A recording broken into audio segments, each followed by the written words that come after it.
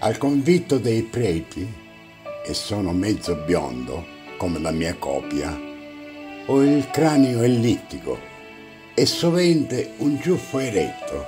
Sono in un valico quando gioco al campo, col busto all'indietro e le braccia larghe, immerso come un orologiaio.